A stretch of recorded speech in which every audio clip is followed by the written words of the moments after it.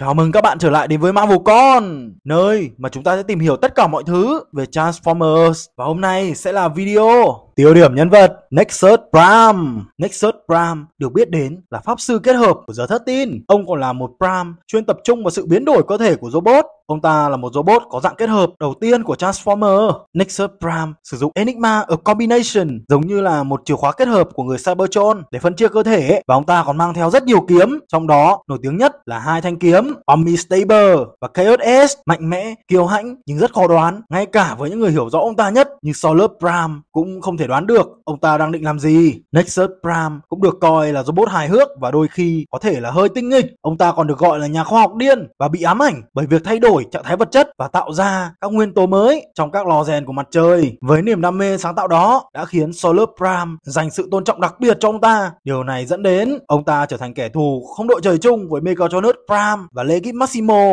Và video đến đây là kết thúc. Nếu các bạn thấy hay, hãy đăng ký cho Marvel Con để mình tiếp tục ra những nội dung mới hơn trong tương lai nhé. Và bây giờ thì xin chào tạm biệt.